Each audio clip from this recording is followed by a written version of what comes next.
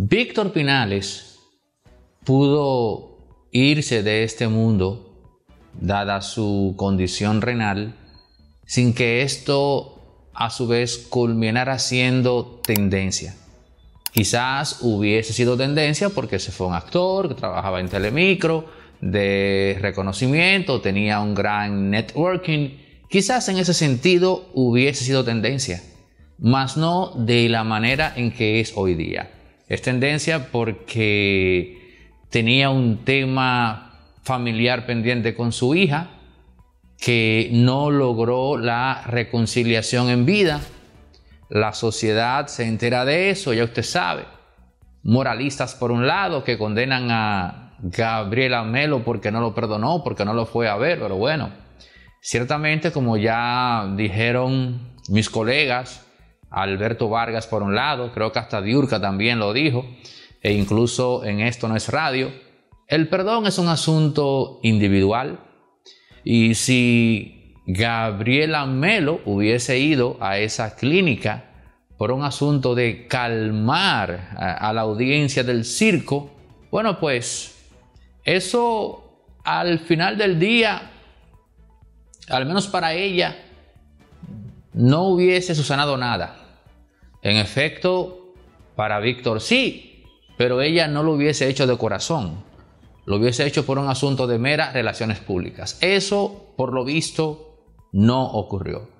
Amén de que queda claro cuando ella habló en el programa de Manolo Osuna que no tenía esa intención. Ahora bien, a lo que voy, de lo que nadie se ha percatado es de que este tema se hizo tendencia en esta, eh, en esta dirección por un asunto que estaba totalmente fuera de guion. Y es básicamente la entrevista que le hace Manolo Zuna um, en su programa Politiqueando eh, a Víctor Pinales. Ellos son amigos. Y con toda seguridad, Manolo Zuna conocía el tema con su hija. Es posible que él no le haya dicho a Víctor que le iba a hacer esa pregunta. Me parece que no, porque incluso el propio Víctor Pinales le dice, tú eres malo. Son de chiste, pero en serio, tú eres malo y comienza a indagar en el tema. O sea, Manolo eh, comienza a preguntarle, y Anabel también, y él se explaya en el tema y da su versión de los hechos. Es esa entrevista lo que pone de manifiesto el problema pendiente de Víctor Pinales con su hija. Si Manolo Osuna no lo hubiese llevado a ese terreno en esa entrevista, hoy el deceso de Víctor Pinales ocupase eh, espacio en los medios, básicamente despidiéndolo. Con el clásico obituario cuando se va una figura del mundo del entretenimiento, pero no fue así. En ese espacio, politiqueando RD, Manolo se mete en el tema y es debido a, en buen dominicano, esa frecura de Manolo de cara al amigo, lo que origina todo esto. Para colmo, Gabriela Melo, la otra parte de la historia, es, eh, es miembro del staff del nuevo proyecto radial de Manolo Zuna. O sea que ahí, ahí Manolo completó el palé. Porque por un lado el video se vuelve a hacer tendencia tras la grave situación de Víctor y por el otro lado, las declaraciones de ella en el otro espacio de Manolo. Genial. Aquí fuimos copartícipes o testigos de otra ironía. Porque eso que acaba, que acaba de hacer Manolo es un libreto mandado a hacer solo que ocurrió en la vida real y que entendemos que él no tenía la dirección de eso.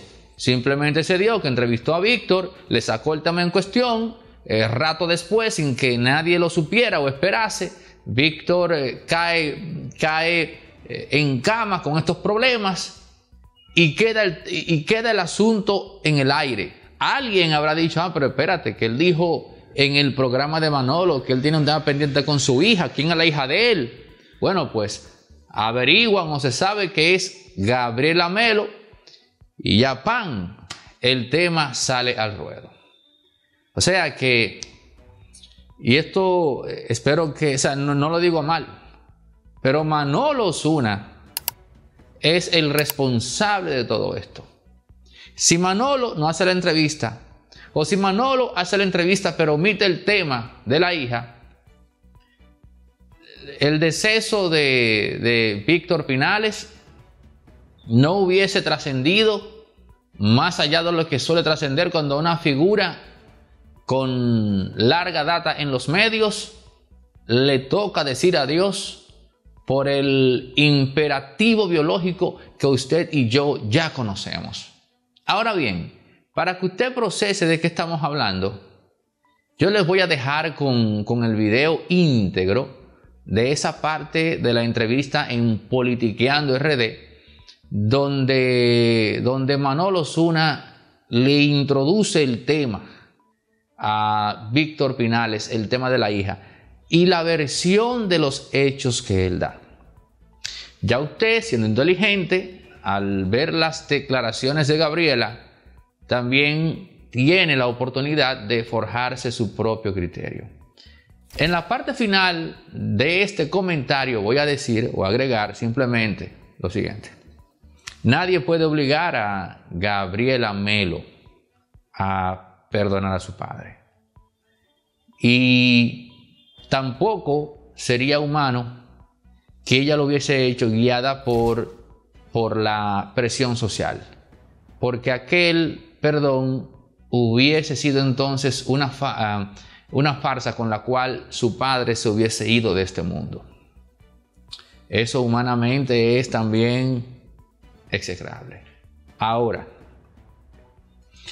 cuando nosotros somos jóvenes, vemos las cosas de una manera y cometemos la errata de asumir que esa perspectiva se mantendrá con nosotros. Gabriela Melo hizo lo que ella entiende correcto. Me parece que nadie puede cuestionarle eso. Ahora bien, ella es joven, muy, muy joven, y tiene tiempo más que suficiente para descubrir otras cosas en la vida que le lleven a cambiar de opinión y abandonar la postura que la llevó a mantenerse firme en su decisión de no perdonar a su padre. No se le puede juzgar porque lamentablemente la juventud nos acomete a todos. La juventud es una enfermedad que solo se sana envejeciendo. Y es precisamente cuando pasamos de los 40, yo tengo ya, tengo ya unos cuantos añitos por encima de los 40. Y créanme que cuando usted entra en los 40 y tantos, usted comienza a ver la vida de otra forma, de otra manera. Es posible que su postura esté más arraigada con su condición de joven que de persona madura. Quiero estar equivocado porque dije en otro comentario que lo mejor para ella es que se mantenga en esta postura hasta el final. Porque si cambia de opinión, ya no tendrá cómo echar atrás. Y eso será, oigan bien esta palabra, eso será, suena fea la palabra, pero así como de fea suena, es en verdad. Eso será inhumanable para ella. Tu vida tiene mucho misterio y mucho recoveco. ¿Tú tienes hijos? ¿Tú tienes zonas todavía? Eh? Yo tengo una hija. Y mi ex esposa tenía hijos, hijas, que, que no son míos, pero que, que, se criaron con Tú tienes una hija. Una hija. ¿Quién es tu hija? No, tú te pasas. No. no me digas que famosa. No, cuidado, cuidado, cuidado, cuidado. Eh. no, ¿Es famosa? No, no, cuidado. Eh, ahorita. eh, pero ella sabe, ustedes han conversado. Eh, ella sabe que es mi hija. Pues, Ay, Dios mío, No, lo que pasa es que no me quiere. Ella, no te quiere. Ella, no, no, no, no, no. Ustedes no llegaron a conversar. No, porque su mamá, y lo digo públicamente, su madre, a raíz. Acuérdate que esa fue la época de la escuela. Sí, sí, sí, sí. La época que nosotros éramos estudiantes. Sí, es cierto. La, la madre de esa niña, como yo, que era un muchacho, un muchachón, eh, llegó un momento que yo dije, "Ay, yo me voy, yo no puedo tener esto, yo no aguanto esta vaina y me fui. Y ese dolor hizo que ella me distanciara de esa niña, nunca me la dejó ver. Ustedes han hablado. Sí, eh, es más, ella fue la que me buscó a mí. Cuando, me, cuando ella me buscó, me buscó por Facebook, porque Sí. una amiga de su mamá le hablaba de mí siempre. Sí. Y ella me escribió por Facebook y me dijo, mira, la amiga de mi mamá siempre me habla de ti, que sé yo cuánto. Ya cuando ella me confesó.